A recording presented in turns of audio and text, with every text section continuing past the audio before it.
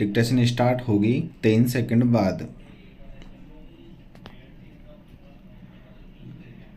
Start.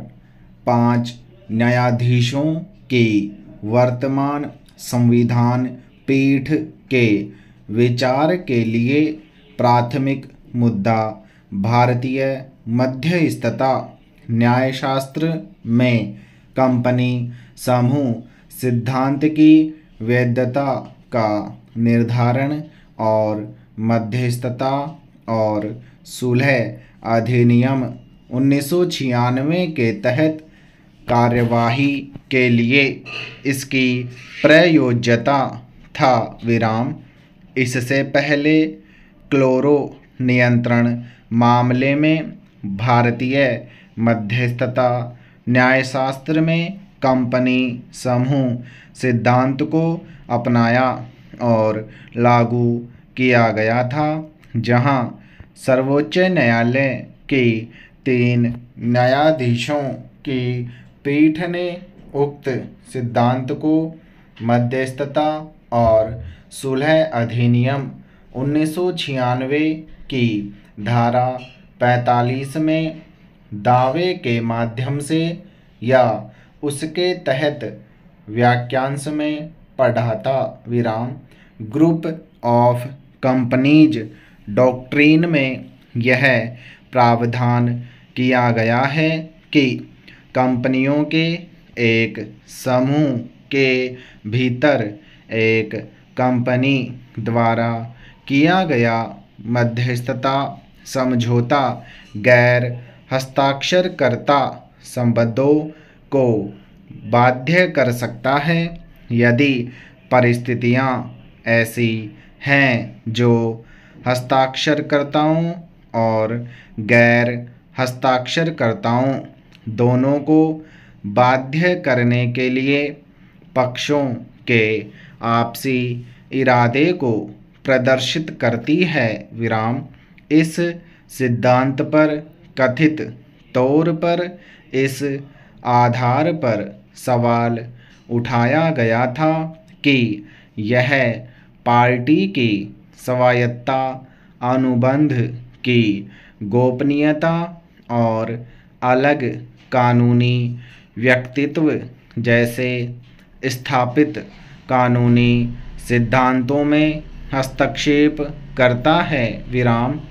इसके अलावा सहायक मुद्दे भी थे, जैसे कि क्या मध्यस्थता और सुलह अधिनियम उन्नीस सौ छियानवे मध्यस्थता समझौते के लिए एक पक्ष के रूप में गैर हस्ताक्षरकर्ता की अनुमति देता है। विराम।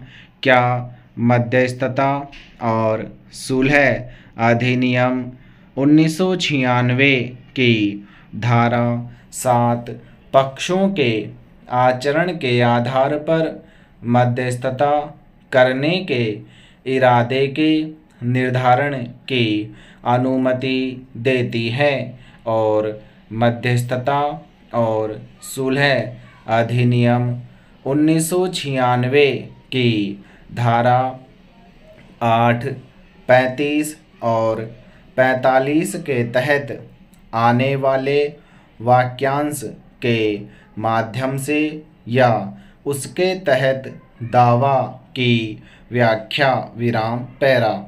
एक निगमित समूह का अलग कानूनी व्यक्तित्व होता है, जिसे धोखाधड़ी और असाधारण परिस्थितियों को छोड़कर नज़रअंदाज नहीं किया जा सकता है। विराम, एक मूल कंपनी और उसकी सहायक कंपनी के बीच का अंतर मौलिक है और आर्थिक सुविधा का सहारा लेकर आसानी से संक्षिप्त नहीं किया जा सकता है। विराम।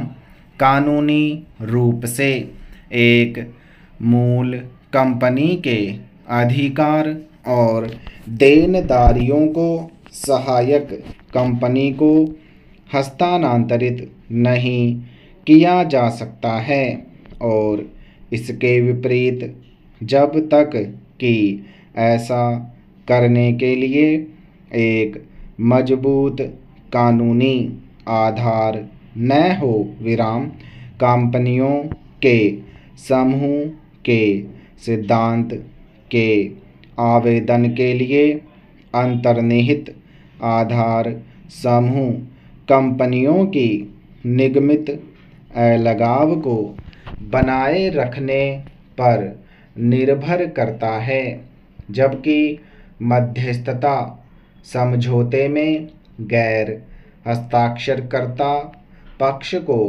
बांधने के लिए पक्षों के सामान्य इरादे को निर्धारित करता है विराम। समूह का केवल एक सदस्य, मध्यस्थता, समझौते पर हस्ताक्षर करता है विराम। अन्य सदस्यों के बहिष्कार के लिए क्या गैर हस्ताक्षरकर्ताओं को मध्यस्थता कार्यवाही से बाहर रखा जाना चाहिए? भले ही वे उस विवाद में फंस गए हों जो मध्यस्थता का विषय है, विराम।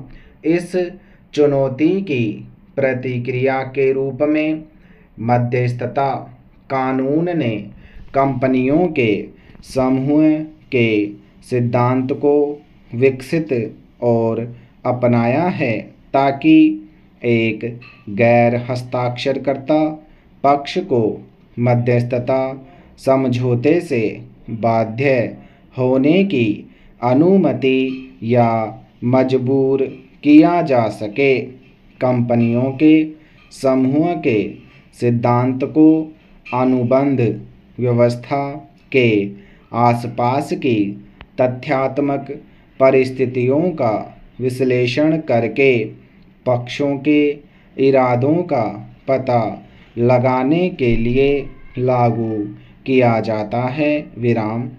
अंतर्राष्ट्रीय क्षेत्राधिकार किसी न किसी रूप में एक मध्यस्थता समझौते के लिए एक गैर हस्ताक्षरकर्ता को बाध्य करने के लिए सहमति की औपचारिक आवश्यकता से परे चले गए हैं। विराम।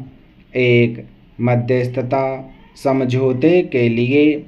एक, गैर हस्ताक्षरकर्ता को बाध्य करने का मुद्दा। एक, तथ्य विशिष्ट सी पहलू है। विराम समाप्त।